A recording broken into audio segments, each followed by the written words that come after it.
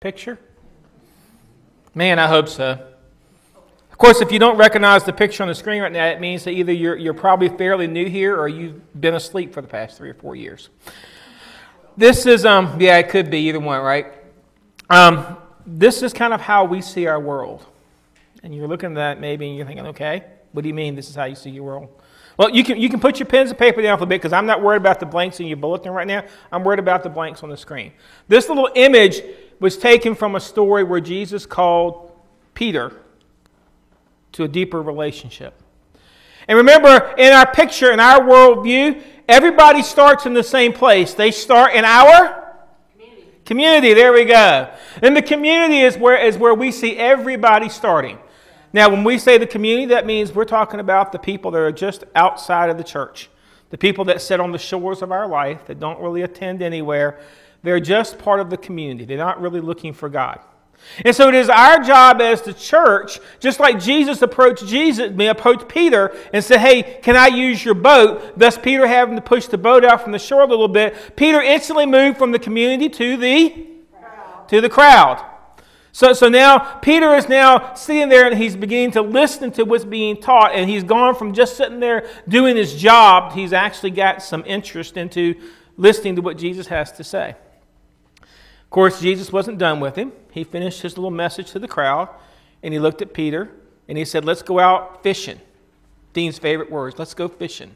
So, so they go out and they go fishing, and, and Peter puts down the nets and they begin to pull it in, and he realizes who Jesus is, and he goes from just being part of a crowd, he makes a genuine connection. It's always the one we have the trouble with, right? He became connected to Jesus. He realized that Jesus is more than just this prophet, just more than this great teacher. He realized that he's the Messiah, he's something different. And so he begins to, to think about, oh my gosh, I'm not worthy to be sitting here in front of you. And so, so I, I, Jesus, I just got to get away from you. And Jesus said, hey, just calm down. We have a plan. Don't worry about this. Let's get to the shore. And they pull the fish up on. And then Jesus looks at him and says, hey, Peter, I'm not done with you yet. Why don't you pull the boat up on the shore and follow me? And the second Peter pulls that boat up, he goes from being just part of the connected to being part of the committed. See, this is how the world works. This is how people come to a relationship with Christ. This is how we are supposed to be doing this. We're not out there trying to, to do everything. We're just trying to make that first simple step to make people, ask people to come out of the community and be part of the crowd. Simple questions like, want to go hang out with me? Want to come to church with me? Want to do the, just something simple. But you know, wouldn't it be great if everybody you walk down the street from and said, want to come to church? And they said, sure and they showed up the next Sunday?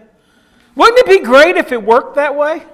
Wouldn't that be awesome if, you, if your batting average was 100% and every person you asked actually showed up? It'd be kind of encouraging to keep asking people, right? But let's be realistic. We look at this view and it's all blue and there's really nothing between the different sections. It flows one from the other, but it doesn't work that way, does it? See, around each of these areas, moving people from the community to the crowd, from the crowd to the connected, from the connected to the committed, there are barriers. There are these reasons and excuses and all this other stuff that people throw up to say why they can't make that next step. Why it is that they are where they are and they're not going to move any further and they're just happy and content. They just throw up barriers. Those barriers are frustrating. Sometimes you feel like you're hitting your head against a brick wall just trying to get somebody to come to the boat, let alone move into a genuine relationship with Christ. But you know, barriers are kind of there. You can't deny it. People are going to have reasons. And so, what we're going to do over the next four weeks, all wrapped up in a fun little baseball theme, we're going to discuss the four barriers that we usually put up when it comes to moving not only other people, but ourselves from one point of life to the next. And the good news is, is there are four of them that we're going to discuss, and just by chance, there are four bases in the baseball game. Didn't work out great that way. Someone somebody planned it that way. So, so we've got four bases that we're going to cover. We're going to we're going to run around these bases over the next four weeks. And no, I'm not actually running. Just so you know that. If you ever see me running, you should be scared because you know what that means. Something big is chasing me. So, So that's about the only time I run. So, so but we're going to we're going to take a spiritual run around these bases and we're going to examine the things that we put up in place, the things, the way that we just tell God, I'm not ready to move from one area to the next. And I want to start with some thought provoking questions. This idea of the hard makes it great. And I want to know have you ever quit something? You ever just called it quits, just gave up on something? Now, when I say have you ever quit something, I know there, there are, there's some good quitting. There are, there are bad habits that you have in your life. And at some point, you decide, I'm going to stop, and you can fill in the blank. I'm going to stop attending buffets because I eat too much when I go to them. Or I'm, I'm going to stop biting my fingernails. Or I'm going to stop, you can fill in the blank there. But I'm going to stop that. And, and so you quit, and you have to work really hard. That's, that's a good kind of quitting. You know, there's another good kind of quitting, and that is um, when it's a need. We've just outgrown it. When I was, um, I guess I was probably about Caleb's age, I was in middle school. The Dukes of Hazzard was a big thing on television.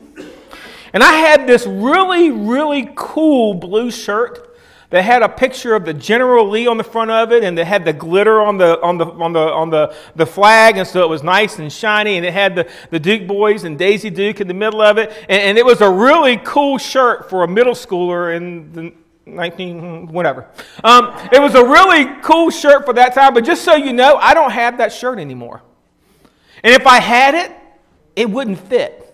Okay? because I outgrew the shirt, so I had to quit wearing the shirt. So, so I'm not talking about quitting a bad habit. I'm not talking about, about quitting something because you just flat out outgrew it. I want to know have you ever really just quit? Just quit. Maybe it's a relationship. Maybe you had a relationship in your life and you just decided that relationship needs to go, so you quit. Maybe it was a job. Maybe you had a job and it just got too overwhelming, so you just quit. Maybe it was younger. When you were younger, you quit some sport team.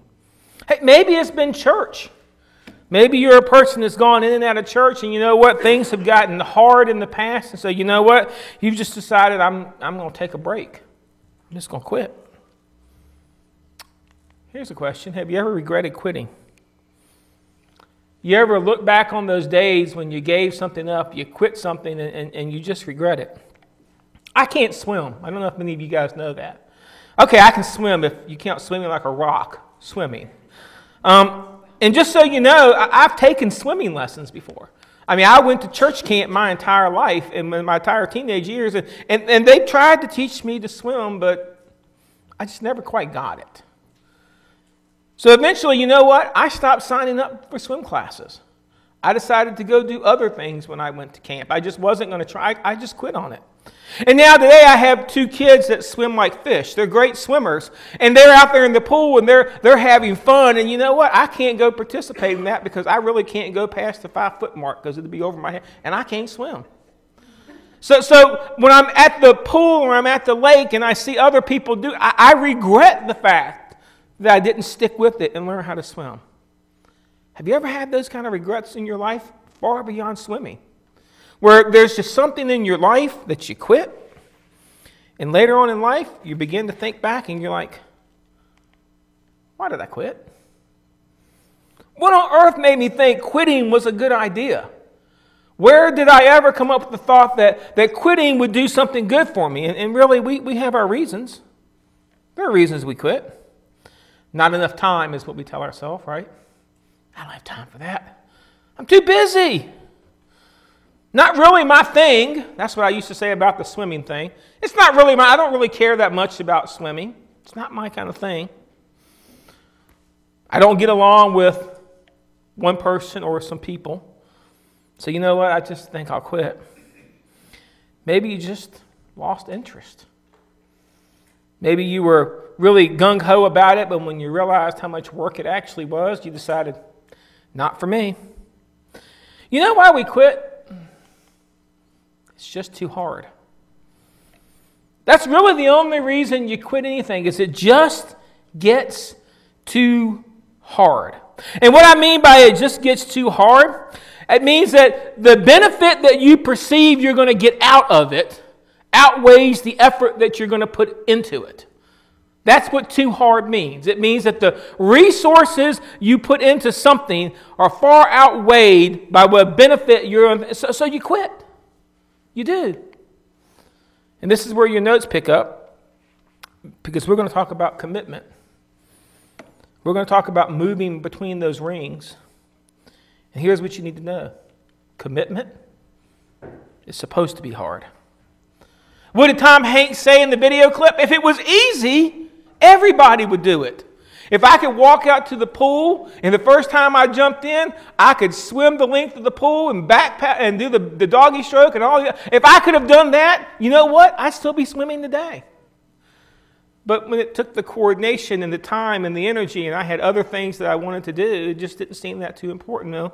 Commitment, if you're going to make any kind of commitment in your life, it's going to require some time.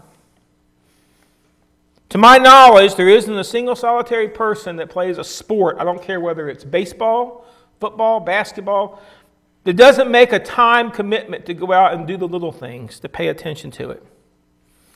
Commitment takes time even commitment to God. Commitment takes resources. Don't believe it? Go talk to a parent that has their child involved in Little League Baseball these days. Man, on top of all of the, the time it takes to get the kids to the practice, and on top of the time it takes to, to get the kids to get the kids here and to get them to travel ball and to get them this, you have to go out and buy the equipment and all these little tournaments they pay they, they go to, you got to pay for, and then you've got the gas to take yourself to there, and by the way, then you got to figure out the time to it takes some of your resources if you're going to be committed to anything in your life.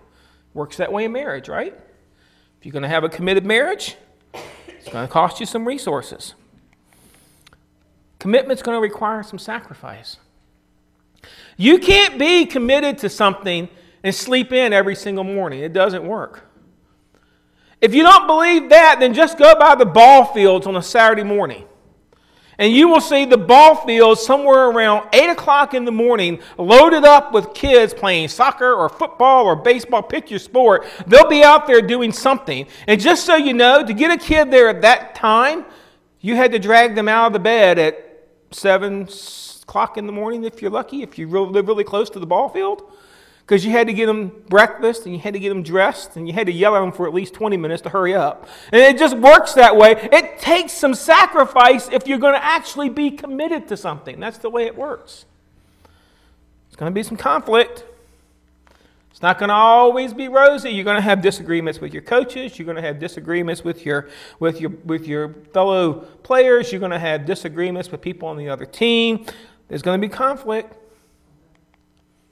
Going to be some physical pain involved. You're going to go out and you're going to do a practice, and the next morning you're going to, you're going to get up and you're going to think, that was a dumb idea. I remember when I was playing Little League ball, I got the bright idea one day I was going to wear a tank shirt out to, to play to practice, and it was an all day practice.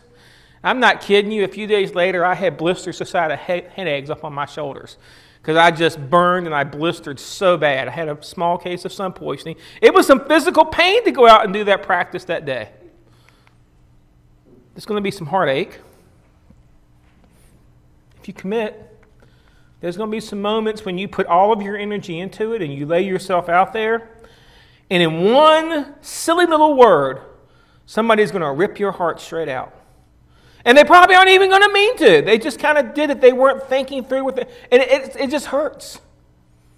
And I guess I look at all of those things that commitment cost and I wonder why bother? Why would I commit to anything?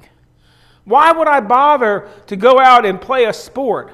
Why would I go out and try to learn an instrument like we saw this morning? Why, why would I do it? Why on earth would I ever make a commitment to God if that's what it's going to cost me? Well, there's some things that you get from commitment.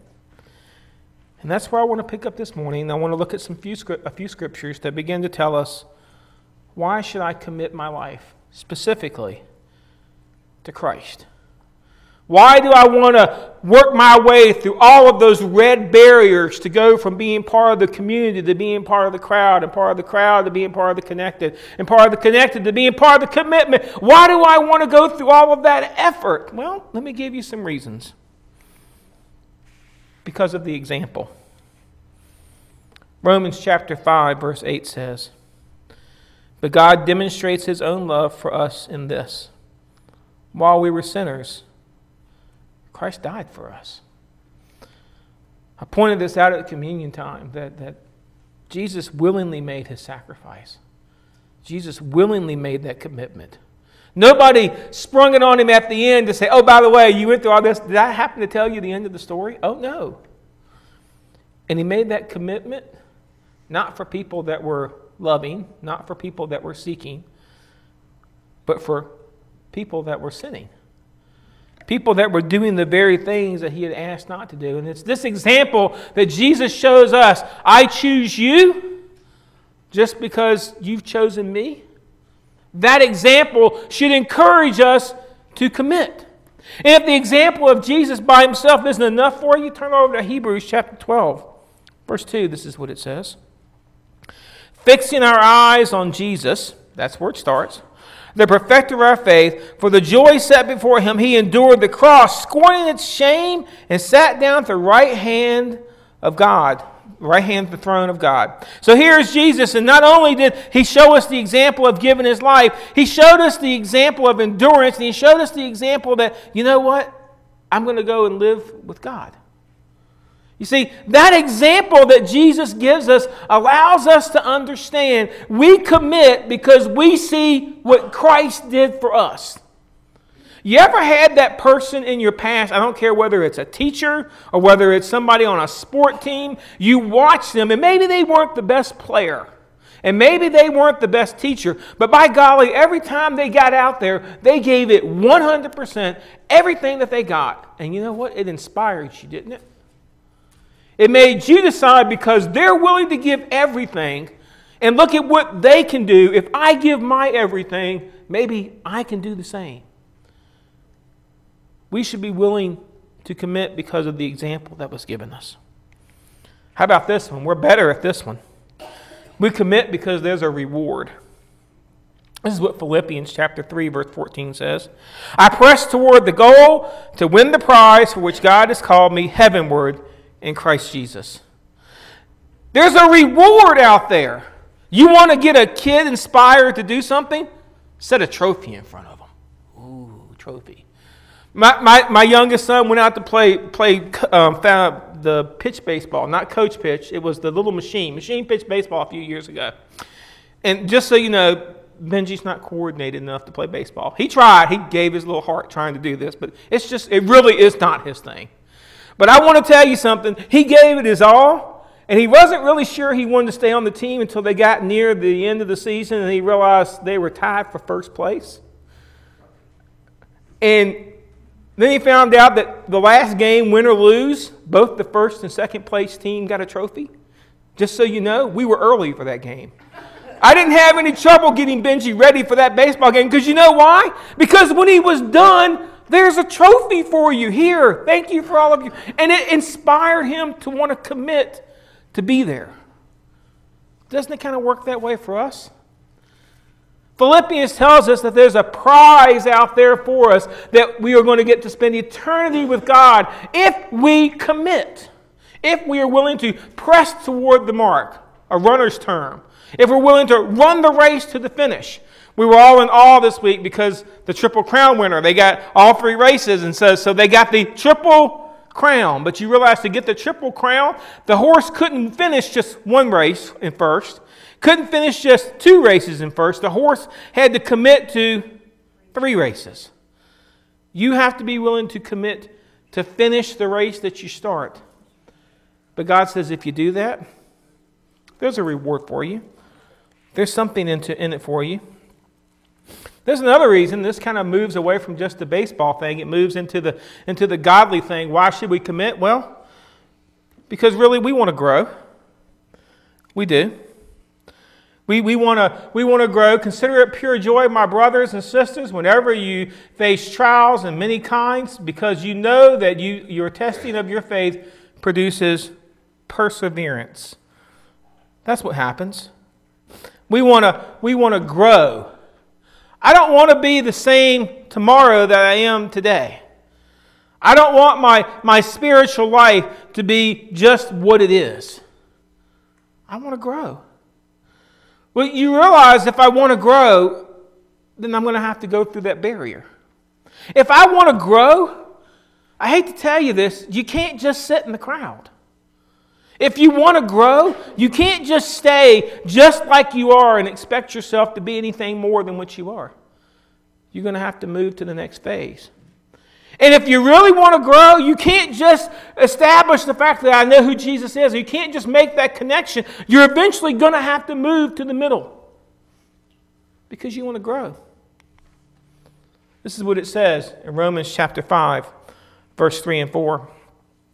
Not only so, but we not only so, but we also glory in our sufferings because we know that suffering produces perseverance, perseverance character, and character hope.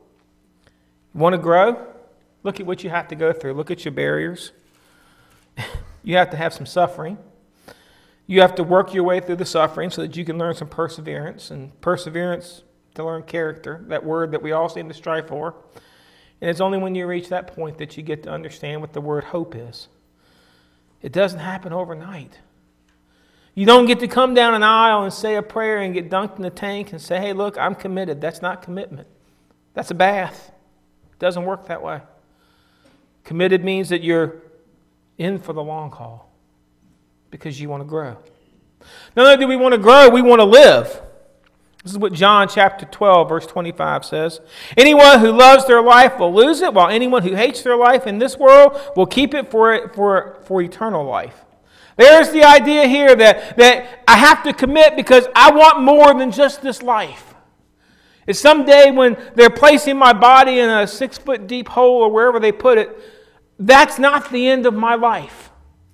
I want to live beyond what you see here in this little water bag that I walk around in that we call a body. But if I want that, there's that word. I have to commit. I have to be willing. Turn with me in your Bibles to 2 Corinthians chapter 6. I want to talk about this idea of commitment. I've explained to you why you want to do it. Now I want to kind of put some meat on the bones here. This is what it says. Paul is writing to the church to help them to understand commitment. We put no stumbling block in anyone's path so that our ministry will not be discredited. Rather, as servants of God, we commend ourselves in every way in great endurance in troubles, hardships, and distresses, in beatings, imprisonments, and riots, in hard work, sleepless nights, and hunger, and purity, understanding, patience, and kindness, in the Holy Spirit and in sincere love, in truthful speech and in power of God, with weapons of righteousness in the right hand and left through the glory through glory and dishonor, bad report and good report, genuine yet regarded as impostors, known yet regarded as unknown, dying yet we live on, beaten yet not killed, sorrowful yet always rejoicing, poor yet making many rich, having nothing yet possessing everything. Paul is admonishing the Corinthian church to get real. Get over it. Make a commitment. Move on.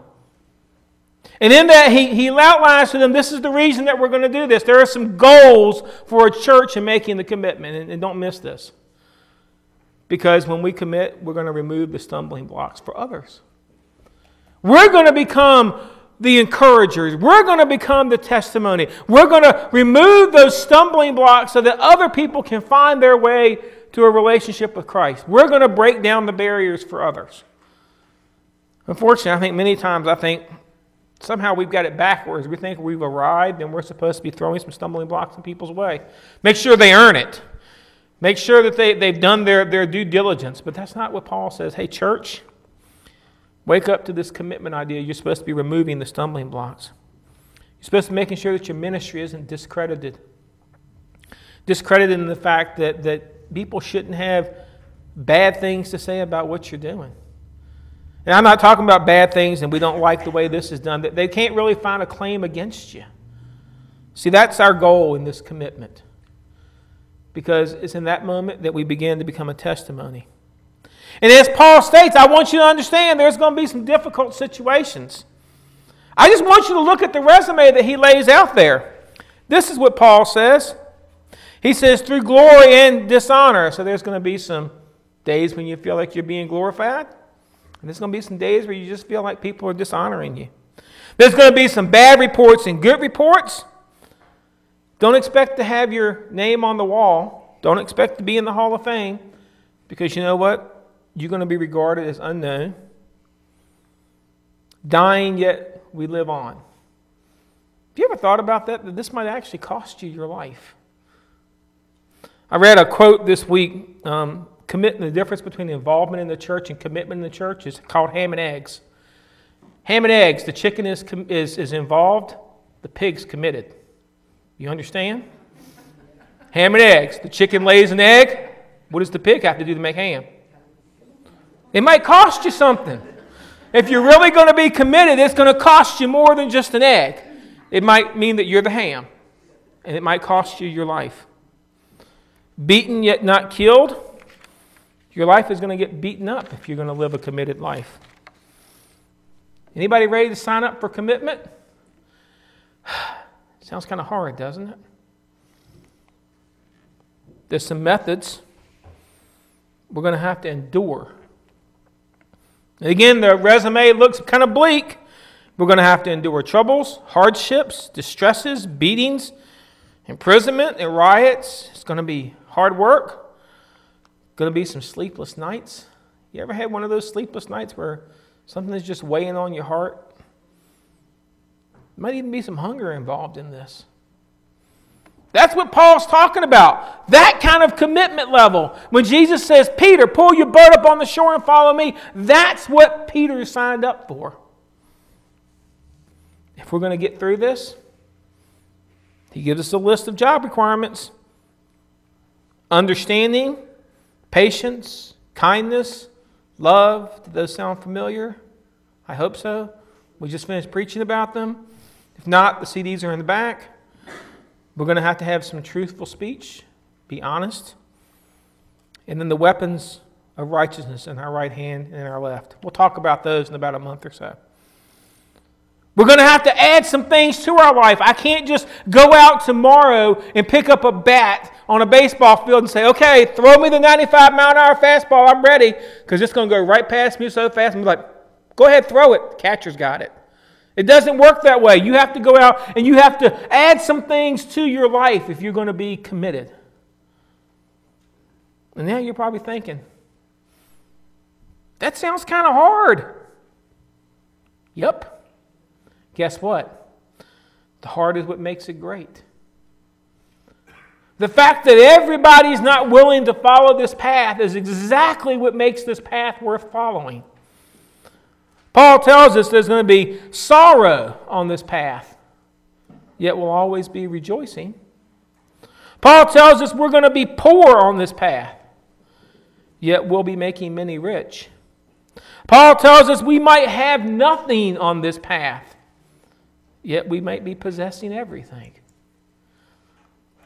But you see, it's the hard that makes it great. Jesus tells a story about those two paths the narrow one and the wide one. The wide one is the easy path. Easy to get on, easy to follow, easy to stay on. The narrow path, not a lot of people are going to find it. Not a lot of people are willing to walk it. And not a lot of people are willing to follow it all the way to the end. So I guess here's what I want to know. Here we are at first base. Are you committed to greatness? Now, if I asked that question and we were asking it on the baseball field, you'd be like, yeah. If I was asking it on the football team, like, yeah, we're committed to greatness. Because we know what that means. That means big contracts and lots of money. And, you know, that's what greatness is. But that's not what I'm asking. I'm asking from, from a godly standpoint. Are you willing to commit to greatness? That means you're accepting the resume that Paul lays out for your life. That means it's going to be hard. There are going to be days that you get up and you're going to roll over and you be like, you know what, I'm just really not in the mood to be a Christian today. I'm not. You know, there are going to be mornings you're going to get up and you're like, you know, I can hit that snooze button a little bit more. That's okay if I miss one Sunday, right? That's okay. There are going to be there are going to be mornings where we make choices that we don't want to do this, but the hard makes it great means that we do it because we made a commitment to it. It works that way in everything. Church is not the only thing that works that way. It works that way in our marriages. If you're married, face it, okay, you get up some mornings and you don't feel like being married anymore. You're like, oh man. you have those mornings. Everybody does. Parents, you wake up some mornings, you're like, did we really have kids? Are you sure they didn't just follow us home one day? You know, are you really? But, but you've made a commitment, and so you stick with it. God works the same way. It means on the good days and the bad days, when it gets hard, that's when greatness comes out. When it gets difficult, that's when you should be excelling. But so often, more than not, we get to the first base and it gets a little hard. And you know what we do? We, we take off our helmet and we throw it down, and we take our glove and we put it down, and we take the bat and we throw it in the ball, and we're like, you know what? I don't think this is for me. We don't ever make it past first base. We don't ever make it past just being willing to make the commitment, even in the hard times. So let me encourage you today get in the game. Because you can imagine if this is first base, what do you think the other three are going to look like? This is the barrier number one. You have to decide I'm going to make the commitment no matter how hard it gets. No matter what God asks of me, I'm going to make the commitment to go all the way from just being part of a community to actually pulling the boat up on shore and making that commitment. During our time of decision, ponder that thought.